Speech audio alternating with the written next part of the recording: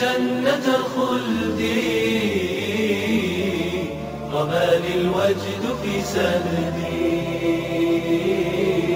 رماني الوجد في سندي.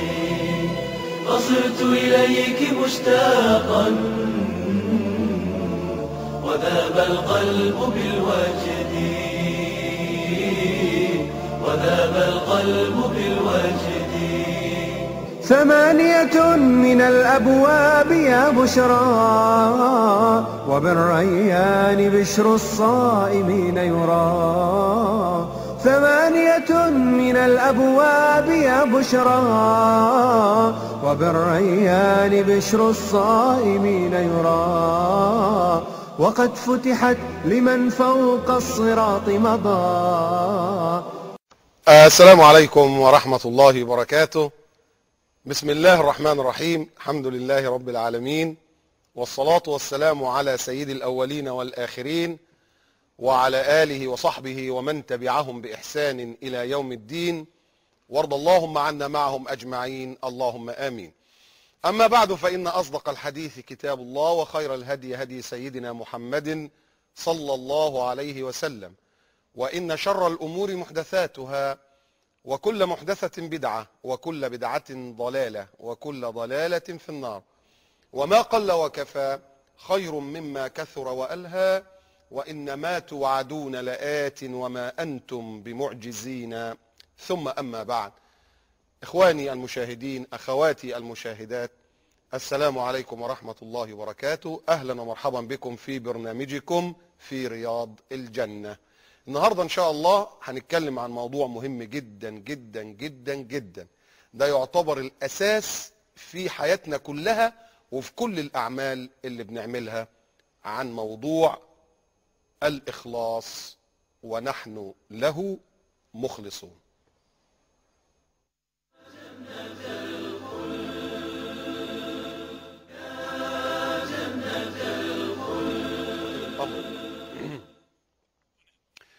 السلام عليكم ورحمة الله وبركاته. أهلا ومرحبا بكم إخواني المشاهدين أخواتي المشاهدات.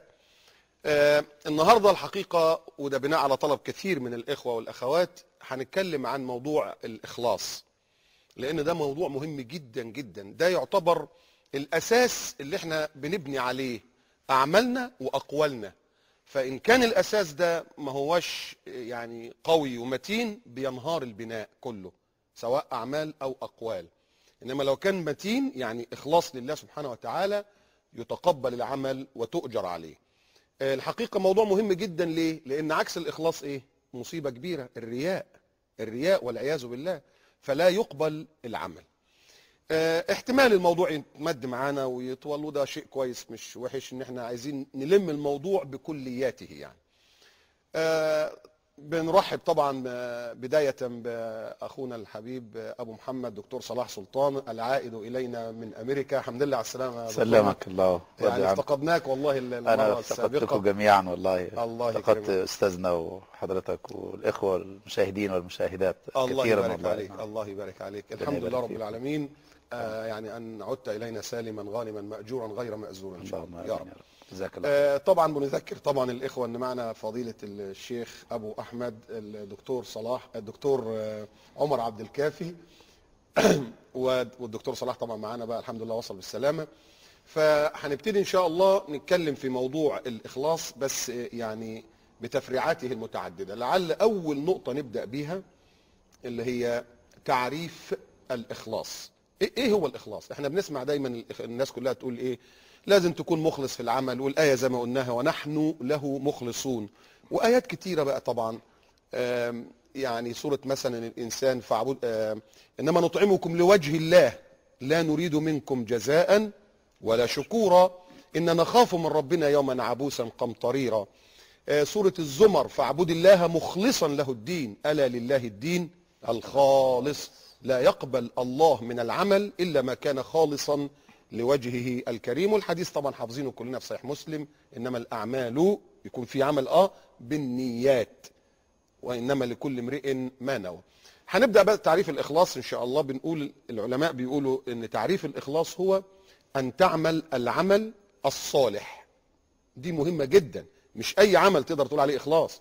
يعني ما تقولش واحد بيشرب خمرة بإخلاص آه، واحدة رقاصة بترقص بإخلاص. ما ينفعش. ما فيش إخلاص هنا لأن العمل هنا مش صالح.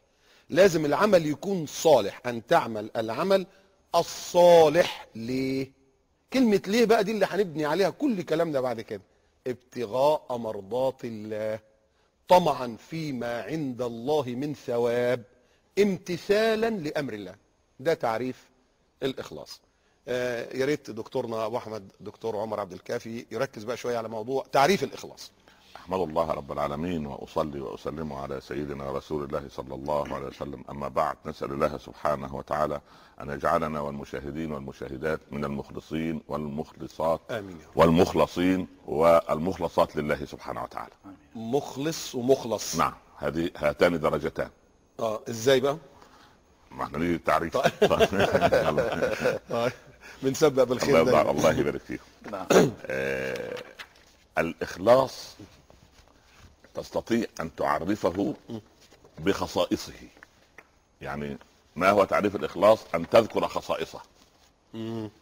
فإذا ذكرت خصائصه عرف الإخلاص. فالإخلاص فيه صفات ثلاث ليست في غيره.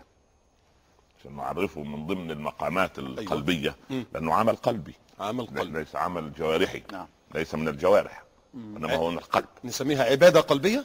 يعني سميها جميل جميل آه. هذا عبادة عبادة قلبية. قلبية آه. عبادة هي القلب. هي أساس العبادات وأساس المعاملات سواء ما بين الخالق المخلوق والمخلوق والمخلوق والخالق يجب أن تكون هي أساس التعاملات أساس إذا التعامل. قلنا إن الدين المعاملة يجب أن يكون هذا الدين خالصا أن يكون العبد فيه مخلصا لله آه. ثم مخلصا مع إخواني لأننا إذا عاملتك بصورة ثم تكلمت عليك من خلفك بصورة ف- فلست مخلصا معك. آه ده الوجهين. والعياذ بالله رب آه، العالمين. كنت أسمع فضيلتك بتقول علماء القلوب. نعم. هي دي بقى؟ هذا من تخصص علماء القلوب. آه تخصص علماء القلوب. طبعا. ما شاء الله. لأن لأن إذا كان للجوارح علماء من ناحية الفسيولوجية التشريحية وعلماء في الفقه وعلماء في هناك علماء أرقى. الله. بعد ما تعدوا هذه المراحل دخلوا على يعني ربنا سبحانه وتعالى أعطاهم بإخلاصهم. الله. أن يروا بعيون بصائرهم لا بعين أبصارهم. الله أكبر. يعني كده ينفع الكلام لا، ربنا يرضى عليك. ويبارك فيك. دي صفات ثلاثة بقى حضرتك جميلة. ثلاثة. أيوه. ناخذ مثلا. اولا أن المخلص إخلاصه لا يطلع عليه الشيطان فيفسده. لا يطلع عليه الشيطان. آه. يعني ال- العمل اللي فيه إخلاص الشيطان نفسه لا يستطيع ان لأنه لأن لأن الشيطان يستطيع أن ينفذ إلى كل إنسان إلا المخلص. الله أم طب مش هو اللي بيخليني أعمل رياء الشيطان؟ لا لا لا هو هو لا قد تكون النفس الأمارة بالسوء لكن إذا أخلصت طرد الرياء. لأن الرياء لا يدخل على الإخلاص. آه عكسه. آه الله. لأن الإخلاص كاللبن. إذا شابته شائبه ظهر. الله أكبر ما شاء الله. فإذا ظهر استغنيت أنت عنه. فيستغني الملكان عن كتابته لأن الإخلاص في الصفة الثانية أن لا الشيطان يطلع عليه فيفسده ولا الملك المقرب فيكتبه. سبحان الله. لأن الإخلاص سر من أسراري. أستودعه من أرضى ومن أحب من عبادي. نعم. هذا هذا في الحديث القدسي. الإسراء الإخلاص, الإخلاص. سر من أسرار الله. أيوه. العلاقة ب... العلاقة في الإخلاص هي ما بين العبد وخالقه. وخالقه. ليس بتدخل ملك الحسنات. سبحان الله. اما الملك الحسنات بقى بيكتب ال- ال- بيكتب العمل؟ الجوارح. العمل. العمل العمل. كما هو. الخارجي. العمل كما هو. العمل الخارجي آه أنتم كنتم مطلعون على ظاهره وأنا كنت مطلع على باطنه.